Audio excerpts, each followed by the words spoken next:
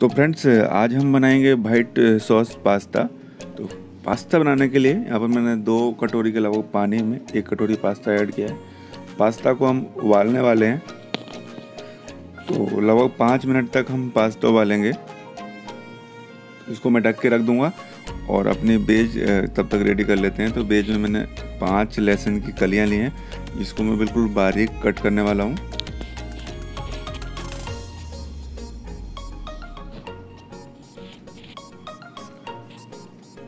और हरा प्याज, इसमें मैं हरा प्याज यूज़ कर रहा हूँ। तो हरे प्याज के मैं दोनों पार्ट काटने वाला हूँ। तो सबसे पहले हमारे प्याज के पत्ते काट लेंगे। तो बिल्कुल बारीक काटना है इस तरीके से।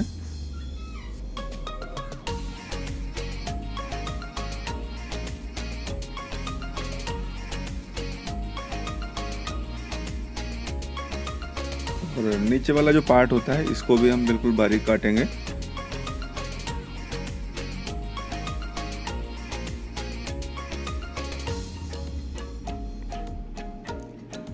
मैं एक शिमला मिर्च यूज़ करूँगा। शिमला मिर्च के जो बीज का पार्ट होता है, इसको हम निकाल के साइड कर देते हैं। और शिमला मिर्च को भी हम थोड़ा सा छोटे छोटे पीस में काटने वाले हैं। ज़्यादा रफ पीस नहीं काटने हैं।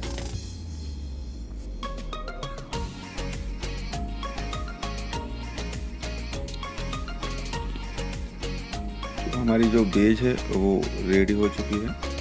काट के हमने रेडी कर लिया इसके अलावा आप और कुछ यूज़ ना करें। और पास्ता भी हमारा बिल्कुल उबल गया है। तो पास्ता को निकाल के हम इसका पानी अलग कर लेंगे और इसको प्लेट में रख के ठंडा कर लेंगे। एक पैन को गैस पे चढ़ा के उसमें लगभग एक चम्मच के लगभग ऑयल ऐड करेंगे।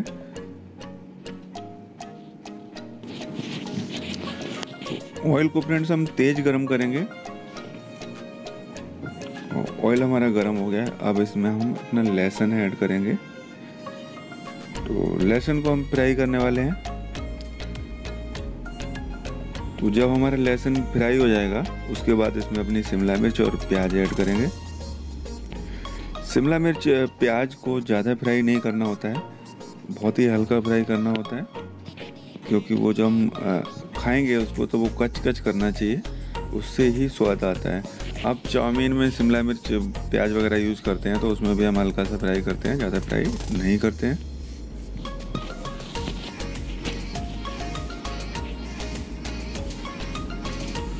और इसके बाद अपना हम पास्ता ऐड कर देंगे। और इसको अच्छी तरह से हम मिक्स करेंगे दोनों चीज़ों को। बेज और पास्ता को।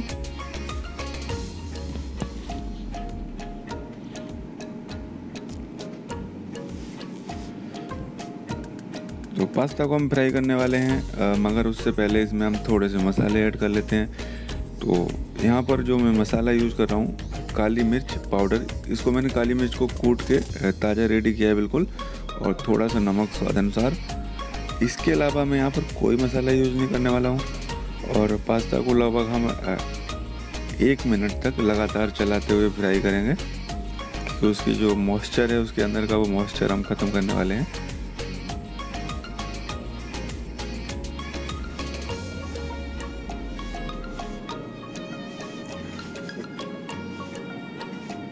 फ्रेंड्स हमारा जो पास्ता, वो मैंने फ्राई कर लिया है और अब यहाँ पर मैं इसमें ऐड कर रहा हूँ वाइट सॉस दो चम्मच के लगभग।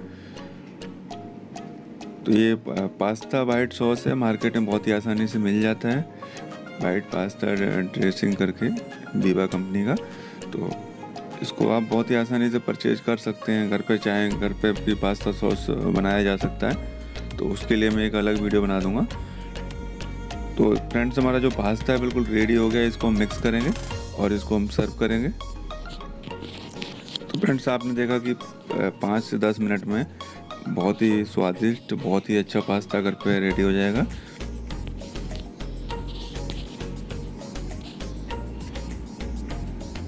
तो पास्ता हमारा सर्व करने के लिए बिल्कुल रेडी हो गया है। तो थोड़ा सा हरा प्याज ऊपर से काट के डाल देंगे। थोड़ा देखने में अच्छा लगता है, बाकी कुछ इतना लॉजिक नहीं है इसका। तो चलिए आप टेस्ट करके बताइए कैसा बना हमारा पास्ता तो फ्रेंड्स आशा करता हूँ आपको मेरा ये वीडियो पसंद आया होगा। प्लीज़ मेरा वीडियो पसंद आया तो शेयर कर दीजिए। चैनल को सब्सक्राइब कर लीजिए वीडियो को लाइक ज़रूर कीजिए। और ऐसे ही मेरे वीडियो देखते रहिए नेक्स्ट वीडियो में। फिर मिलता हूँ मैं आपसे। Thank you